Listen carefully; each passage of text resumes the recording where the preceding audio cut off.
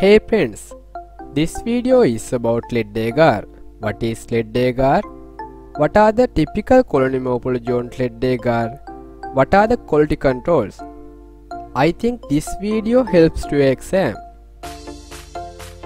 If you're new to my channel, please consider subscribe.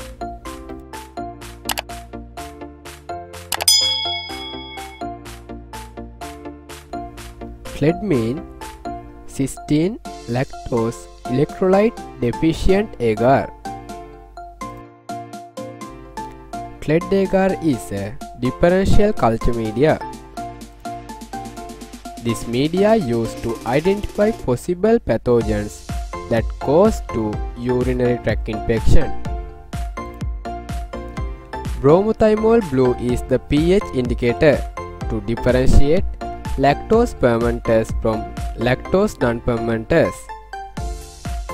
Organisms capable of fermenting lactose will lower the pH and change color of the medium from green to yellow. Final pH of the media 7.3.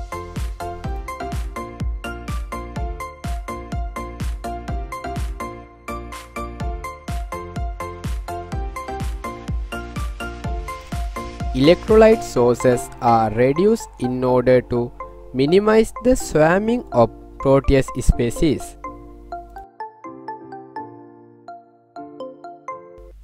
Typical colony morphology on CLED E. coli opaque yellow colonies with a slightly deeper yellow center. Klebsiella species yellow to white blue colonies extremely mucoid. Proteus species translucent blue colonies.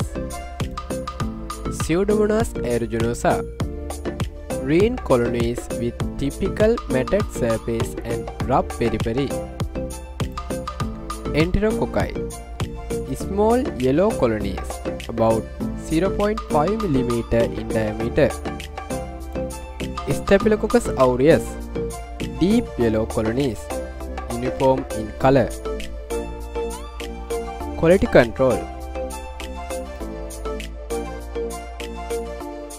Positive control Example Staphylococcus aureus Expected results Good growth Yellow colonies Positive control Example Proteus mirabilis Expected results Good growth Blue colonies No swarming appearance